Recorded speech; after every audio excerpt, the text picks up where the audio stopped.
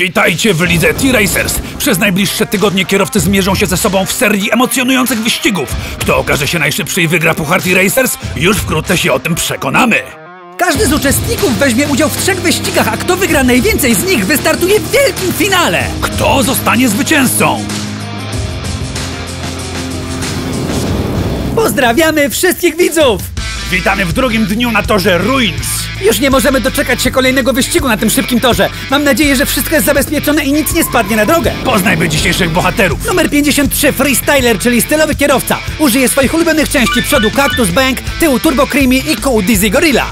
A jej rywal to z numerem 10 Master Goal, który użyje tej konfiguracji co zwykle, czyli przodu Stan Puncher, tyłu Star Thunder i kół Extra Ball, którymi już nieraz udało mu się zmylić przeciwnika.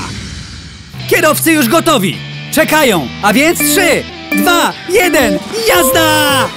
Ruszyli! Master Goal przyspiesza na prostej i z ogromną prędkością wchodzi w zakręt. Oboje przechodzą przez zakręt w prawo. Freestyler łapie cień aerodynamiczny Master Goala. Master Goal wpada w poślizg, Freestyler nie może go wyprzedzić, Gol kręci się i wygrywa wyścig! Jaka szkoda, bo Freestyler nabierała już prędkości. I zwycięzcą tego wyścigu na torze Ruins zostaje Master Goal, jedyny piłkarz w lidze!